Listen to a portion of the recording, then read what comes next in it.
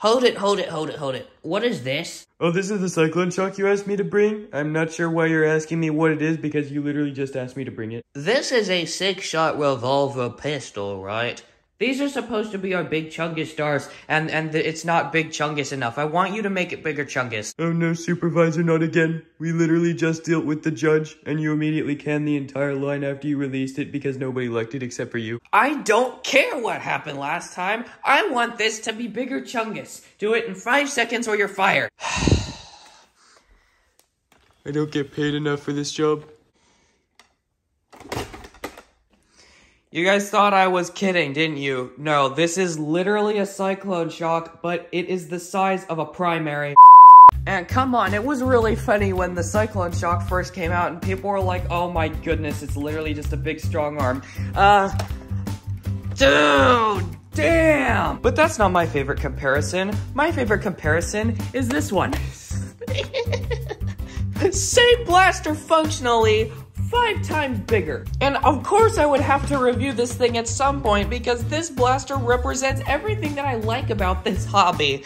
And uh, move out of the way, Cyclone Shock, move out of the way, Strong Arm. We need some room. So the Nerf Mega XL Boom Dozer. Yeah, like even the name is so violent. This blaster was introducing yet another ammo type out of Nerf.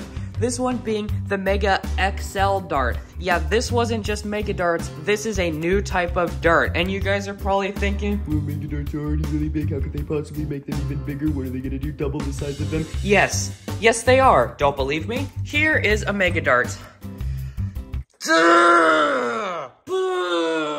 These are ridiculous.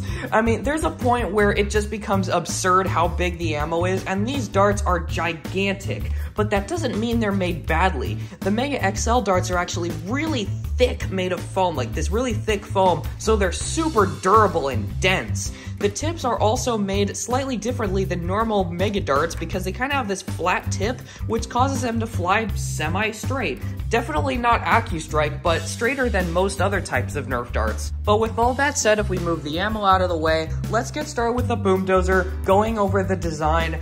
This thing literally looks like if you turn a monster truck into a Nerf blaster. It looks like cement, while the whole logo is just like punching aggressively through the plastic on both sides. They didn't paint the Nerf logo or Boom Dozer on both sides, but the elephant in the room is exemplified on both sides. And I gotta say, the details here are really good. I mean, this isn't this isn't for everybody. I mean, this looks hideous. It literally looks like the blaster is falling apart and it doesn't want to be put together, like it's made of cement or something. Especially because like the whole blaster is, has these cracks on it, like here, here, even on the front of the muzzle. Like they definitely made an effort of showing you that this thing is like cement based. I personally love this design just because of how cool and original it is. The fact they didn't do anything like this before, but I can definitely confirm that it's not for everybody. Not everybody everybody's gonna like this design like I do. Let's talk about the ergonomics, because it's like, it looks really dumb. It looks like this is gonna be super uncomfortable. Uh, this grip is awesome. It really is. These kind of design groove things in the back actually give a really nice handhold and don't dig into your hands much at all.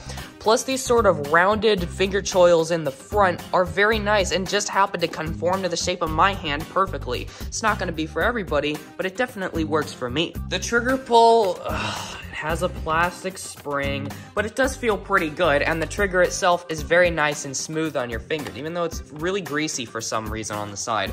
The foregrip, humongous. Absolutely wonderful to hold on to this. It feels great putting your hand on this thing, and the prime action is really smooth. Like, really, really smooth. And it sounds like it's barely going to hit N-Strike performance legitimately. It sounds a little bit less silly in real life, but it, it definitely doesn't sound very powerful. Uh, that's going to change in the firing demo, but we'll get to that later. Here's a detail that I don't understand why not very many people talk about. Wait. Wait. I seriously think this is the first Nerf Mega Blaster that has an N-Strike stock attachment point, and even though no stock actually fit this, fits this, um, Oh yeah, you can make it even bigger than it already is. So the way this blaster works is pretty simple. You prime it, you fire it, or it has slam fire. Throughout my testing procedure, I did have some problems with the slam fire not causing the cylinder to advance, although that does seem to have gotten better over time and over extended usage. So with that said, let's get on to the firing test. This is probably going to be the first firing demo where I actually have a cut in the middle so that I can go reload the blaster to show you slam fire.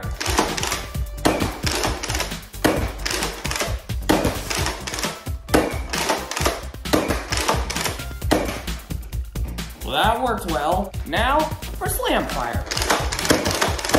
That's what I'm talking about. Only one went in. So, the Mega XL Boom Dozer. What a blaster. Seriously, what a blaster. This thing has to be seen to be believed. It is huge and it is ridiculous, and it's really, really fun. And surprisingly, I could actually see this having a use in a Nerf war if you're going to overvalue Mega XL darts. This one has a pretty good capacity for Mega XL that is really hard to get anywhere else. I mean, you do have to understand though, this thing is absolutely massive, even on the side profile, goodness gracious. But I also understand that this isn't for everybody, especially considering that it is a $40 blaster. It is a pretty big investment. Although if you do want to pick one of these up, I will link one in the description below.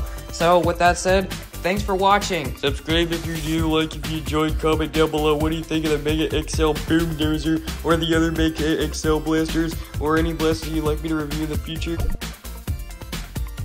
Till that said, I guess I will see you guys all next time. Uh, I, I hope you liked this video. Bye.